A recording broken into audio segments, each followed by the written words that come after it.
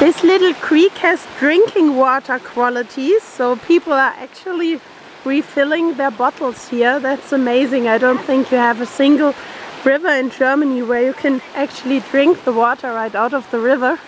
Haben wir? Okay, Nina says we do. I didn't know that.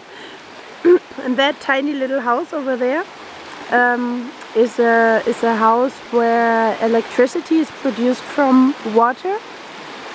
And yeah, it's absolutely beautiful here. Is this kalt? Ne?